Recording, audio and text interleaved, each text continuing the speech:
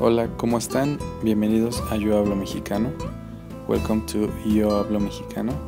Hoşgeldiniz Yo Hablo Mexicano de. Benvenuti a Yo Hablo Mexicano. In today's lesson, we are going to study the verb haber.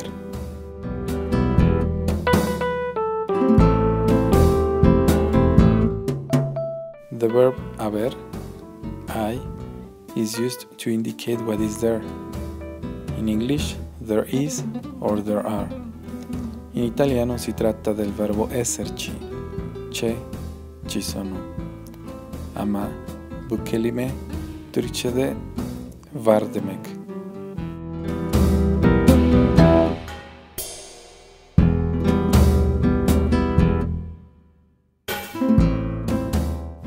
Los casos del singular. Ejemplos. Hay un niño. Hay una niña. C'è una bambina. Hay un coche. There is a car. Hay un perro. Birkopekvar. Hay un gato. C'è un gatto. Hay un libro. There is a book.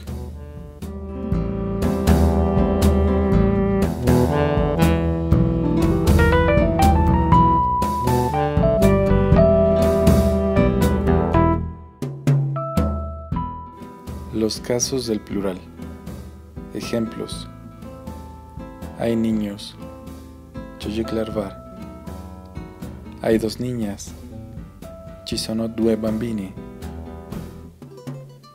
Hay dos coches. There are two cars. Hay perros. Köpeklervar. Hay cuatro gatos. Ci sono quattro gatti. Hay tres libros. There are three books.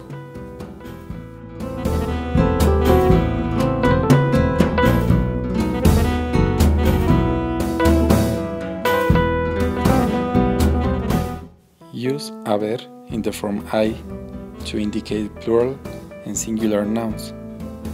I is also used for male and female cases.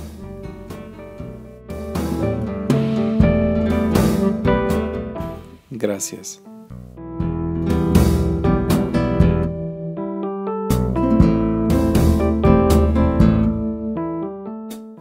Thanks for watching Yo Hablo Mexicano. Like on this video and please share it with other students or teachers of Spanish.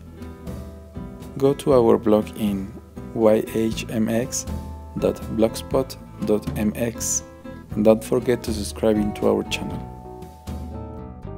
Gracias por ver Yo Hablo Mexicano.